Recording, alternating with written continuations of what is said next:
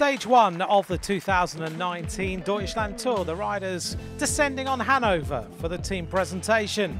Former Tour de France winner Geraint Thomas on the start line alongside the world's best riders.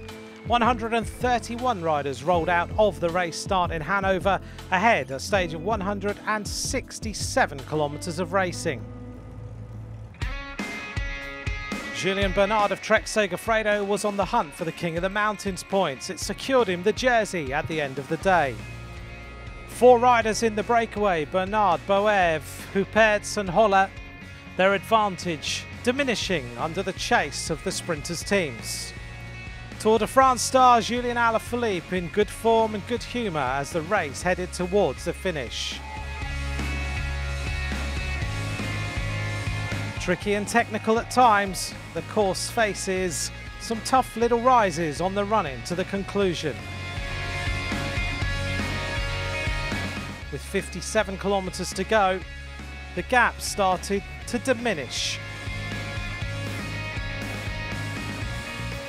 The speed in the peloton high. UAE Team Emirates, Lotto Soudal, and in particular Bora Hansgrohe all at the front of the peloton. As they went across the inner border of Germany, which was taken down in 1989. A crash for a couple of riders from Astana and the school children enjoying rolling alongside the colourful peloton.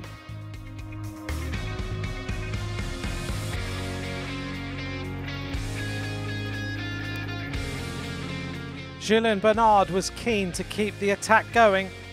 He went clear solo to try and win the stage. Behind him, Tom Jelte Slagter and Kasper Asgreen of Deceuninck Quickstep tried desperately to get on terms.